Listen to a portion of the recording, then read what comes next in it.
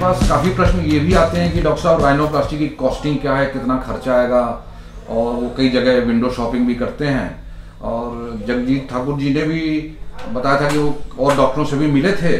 और उसके बाद उन्होंने हमारा चयन किया, हमारे क्लिनिक का चयन किया। तो कॉस्टिंग के बारे में मैं उनसे जानना चाहूँगा कि उनका क्या एक्सपीरियंस रहा कॉस्टिंग के बारे में। और वो हमारे दर्शकों को क्या कहना चाहेंगे?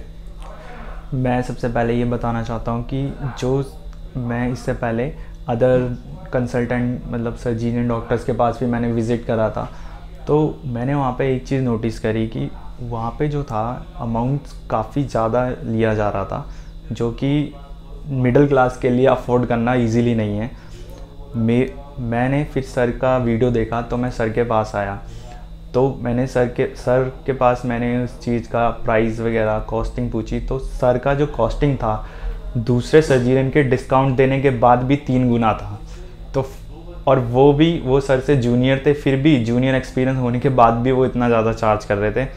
तो फाइनली फिर मैंने सर के पास ही करवाया। आप बेफिक्र रहिए, आपको जो कॉस्टिंग यहाँ पे आएगी वो बहुत ही रीज़नेबल है अदर अदर सर्जीनियन के मुकाबले। आप इस चीज़ की बिल्कुल भी टेंशन मत लीजिए कि आपसे अनयूजल अमाउंट लिया जाएगा। आप यहाँ पे आइए, आपको एकदम रीज़नेबल कॉस्टिंग दी जाएगी, जो कि आपको अदर नहीं मिलेगी और बेस्ट रिज़ल्ट दिया जाएगा।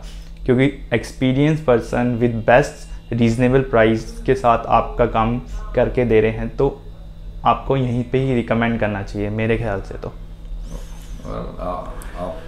बहुत बहुत शुक्रिया, आपने हमारे क्लिनिक के बारे में अच्छा बताया। और मुझे उम्मीद है कि इससे बाकी दर्शकों की कॉस्टिंग के बारे में जो भी जिज्ञासा थी, काफ़ी कुछ शांत हो गई होगी। और हमारी क्लिनिक का भी ये मोटो है कि हम बेस्ट ट्रीटमेंट दें at affordable prices best cosmetic surgery at affordable prices और हम वही रखते हैं। हमारे पास कई फॉरेन से भी पेशेंट आते हैं विदेशी तो भी हम उनसे वही रेट लेते हैं जो इंडियन पेशेंट से लिए जाते हैं। किसी तरह का हम एक्सप्लॉयट करने की कोशिश नहीं करते हैं। और मेरे ख्याल से यही हमारा यूएसपी भी है। एंड uh, मतलब ईश्वर चाहेगा तो नेचुरली आप लोगों का हम इसी तरह से विश्वास जीत सकेंगे। और बहुत बहुत शुक्रिया आपने एक और प्रश्न का उत्तर दिया जो कि कई लोग पूछते हैं फ़ोन पे पूछते हैं या बाकी तरह ईमेल करते हैं। Yes, तो उसके लिए बहुत बहुत धन्यवाद। आपके इन शब्दों के लिए इस प्रशंसा के लिए। Thank you